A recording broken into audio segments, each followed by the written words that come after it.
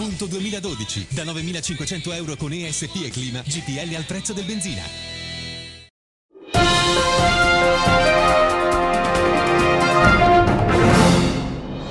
Parcheggiatore abusivo violento denunciato in stato di libertà. Scontro frontale tra due auto, gravi i conducenti. Elezioni amministrative, affluenza in calo. Salvezza, caro Fabrizio, pensaci tu.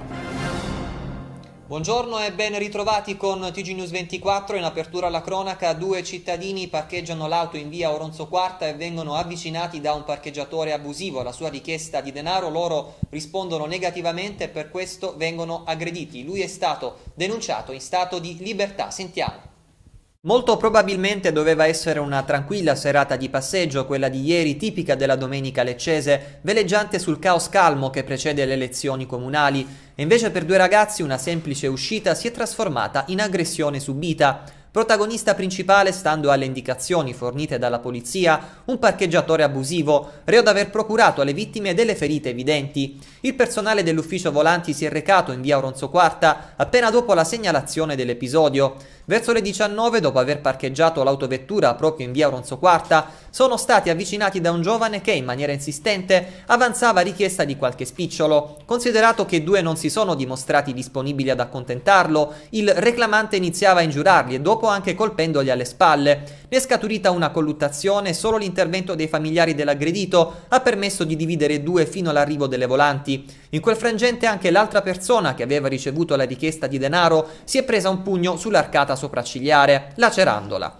Il personale sanitario giunto sul posto ha trasportato il ferito presso il nosocomio di Copertino. L'aggressore, che comunque non si era allontanato, è stato identificato in un 31enne deferito in stato di libertà per il reato di lesioni volontarie gravi. Proseguiamo con la cronaca, un terribile incidente stradale avvenuto sulla strada provinciale 663 che da San Cataldo, superata l'oasi WWF Lecesine all'altezza della Caia Golf Resort, porta a Otranto ad essere coinvolte due auto, una Passat e un Audi A3. Due conducenti e un passeggero sono rimasti feriti nello scontro. All'interno dell'Audi anche una ragazza 24enne che attualmente si trova presso il nosocomio di Galatina. L'impatto è stato terribile e dai primi accertamenti si ipotizza che le auto siano andate l'una contro l'altra frontalmente per cause ancora da verificare. Sul posto sono intervenuti i carabinieri di Lecce e il personale del 118. Oggi alle 15 si chiuderanno le urne, fino a questa mattina è stata registrata una diminuzione dell'affluenza al voto e a tal proposito abbiamo raccolto le testimonianze di alcuni cittadini. Miriam Gabellone. Rispetto alle ultime amministrative il Salento ha perso più del 6% di votanti, il dato aggiornato alle ore 22 di ieri, ma c'è ancora tempo per uh, esprimere la propria preferenza, infatti le urne sono aperte da questa mattina alle 7 fino alle ore 15. L'affluenza dunque in calo, segno che tra molti cittadini prevalga un sentimento di disaffezione alla politica, di antipolitica. Ma vediamo com'è andata a Lecce. Siete andati a votare? No. Perché? Perché siamo contro le elezioni. No, sto andando per la via. Sì. Sì, sono andata a votare. Certo, stamattina. Eh beh, sto andando a votare, è un dovere, no? C'è stato un calo di votanti, secondo lei da cosa dipende? Che non hanno più fiducia alla politica.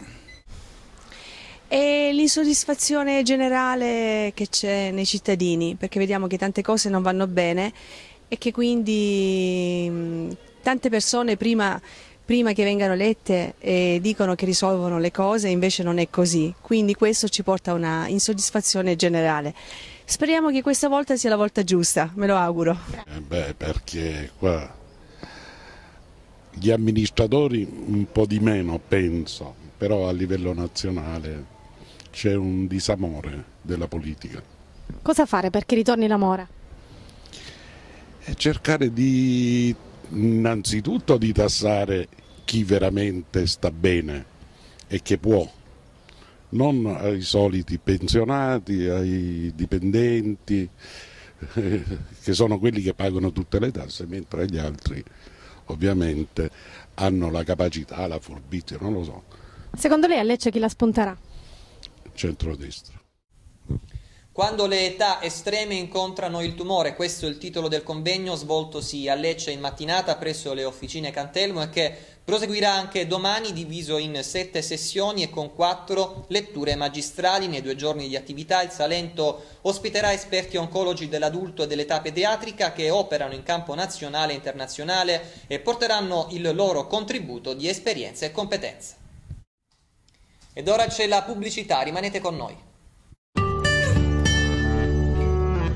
Edil Costruzioni Quarta. Edilizia di qualità, da sempre.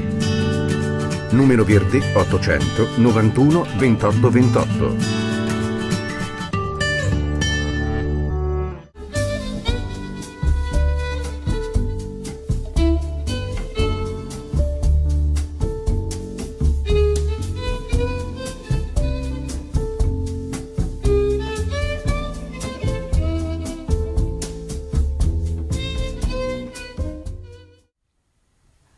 E concludiamo come sempre con lo sport, anche quest'anno la salvezza del Lecce potrebbe passare da Fabrizio Niccoli, la prossima partita del Lecce intanto sarà contro il Chievo con la speranza che il Genoa perda in casa contro il Palermo. Luigi Taurino. Smaltiti delusione e scoramento per la sconfitta di sabato sera e dopo la conclusione della penultima giornata di campionato che ha consegnato lo scudetto nelle mani della Juventus dell'eccese Antonio Conte, quella più che minuscola fiammella che alimentava le speranze di salvezza dei giallorossi al termine della vittoria dell'Udinese sul Genoa sembra improvvisamente essersi riaccesa. Non bisogna illudersi più di tanto, ma la sconfitta del Grifone e la grandissima prestazione di Fabrizio Miccoli nella partita tra Palermo e Chievo ha restituito un po' di fiducia ai tifosi giallorossi. Domenica quindi il Romario del Salento ha nei suoi piedi i destini della squadra per la quale ha sempre fatto il tifo e nella quale spera di terminare la carriera. Ironia della sorte, questo talento di casa nostra, l'anno scorso fu uno degli artefici della retrocessione della Sampdoria.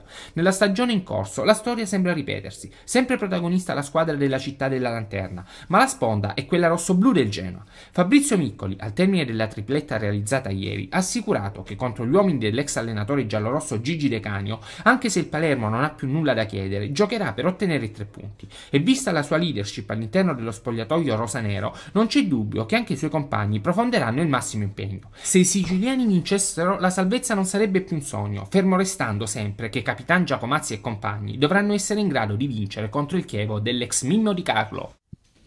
Prima di concludere vi ricordiamo che questo pomeriggio dalle 15 in poi Lecce News 24 seguirà le elezioni comunali in diretta su Facebook e ovviamente anche sul sito www.leccenews24.it. Bene, per oggi è tutto, grazie per essere stati con noi, TG News 24 vi dà appuntamento a domani, arrivederci.